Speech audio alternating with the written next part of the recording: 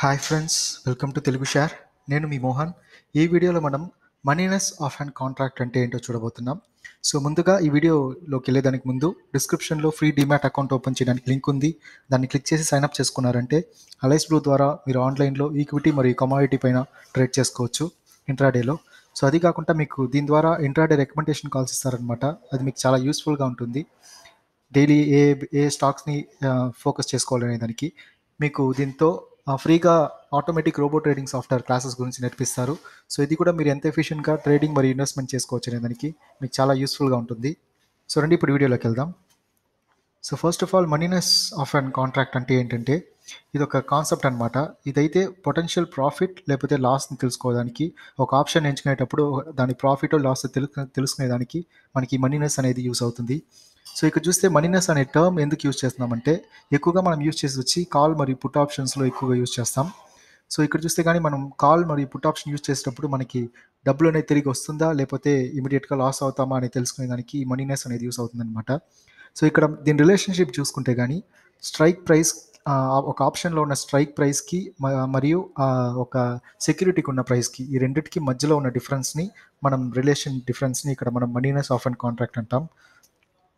So దీంట్లో intrinsic value అనేది చాలా ఇంపార్టెంట్ రోల్ ప్లే అవుతుంది. సో ఇక్కడ ఇన్స్టెన్సిక్ వాల్యూ అంటే ఇక్కడ మనీ ఆప్షన్ బయర్స్ ఉంటారు కదా వాళ్ళు ఒక కాంట్రాక్ట్ పైన ఆప్షన్స్ తీసుకునేటప్పుడు అది రైట్ చాయిసా లేదా కనుక్కునేదానికి మనం ఇక్కడ ఇన్స్టెన్సిక్ వాల్యూ అనేది వాడతాం అనమాట సో కాల్ ఆప్షన్కి ఇన్స్టెన్సిక్ వాల్యూ చూసుకుంటే కానీ market price minus strike price అదేలాగా put option చూసుకుంటే కానీ ఇన్స్టెన్సిక్ వాల్యూ అనేది strike price minus market price so ఇలాగా మన ఒక కాల్ మరియు పుట్ ఆప్షన్లో ఉన్న ఇన్స్టెన్సిక్ వాల్యూని కనుక్కోవచ్చు. మరియు టైం వాల్యూ అని చూస్తే కానీ ఇక్కడ ఎప్పుడైతే ఇన్స్టెన్సిక్ వాల్యూ కంటే యాక్చువల్ వాల్యూ ఎక్కువ అవుతుందో అప్పుడు మనం ఇక్కడ టైం వాల్యూ అంటాం అనమాట సో ఇక్కడ వాల్యూ అనేది ఇక్కడ ఇక్కడ ఛాన్స్ ఈ స్ట్రైక్ ఒక స్ట్రైక్ ప్రైస్కున్న ఛాన్సెస్ని ఎక్కువగా చాలాగా డిఫరెన్స్ చేసి ఆ ఎక్స్పైరీ అయిన ముందు కాల్ లేకపోతే పుట్ ఆప్షన్ మనం అమ్మేది లేకపోతే కొనేదాన్ని ఇక్కడ టైం వాల్యూ అంటాం. సో ఈ టైం వాల్యూ అనేది ఒక కాల్ అండ్ పుట్ ఆప్షన్ని ఎంత భిన్నంగా మనం అమ్ముతామో కొంటామో దాన్ని బేస్ చేసి ఉంటుంది అనమాట so time value equal to option price minus intrinsic value so already intrinsic value చూసాం. దాన్ని మైనస్ చేస్తామంటే ఆప్షన్ ప్రైస్ నుంచి అది మనకి టైం వాల్యూగా దొరుకుతుంది.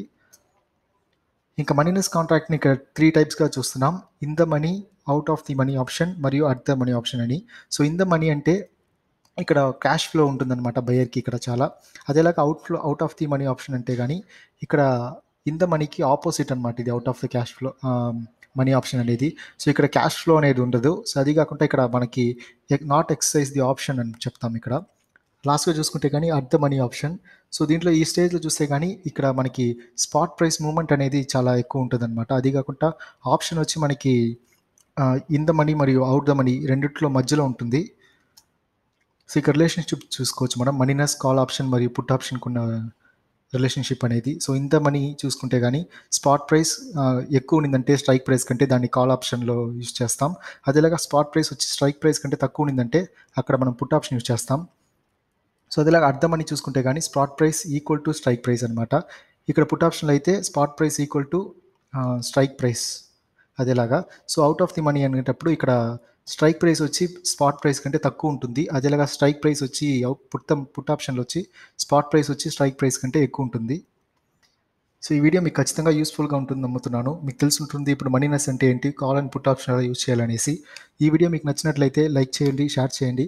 అలాగే మీ ఫ్రెండ్స్తో కూడా మన ఛానల్కి సబ్స్క్రైబ్ చేయమనండి. ఇలాంటి మరిన్ని వీడియోస్కి మన ఛానల్ని సబ్స్క్రైబ్ చేయండి. Thank you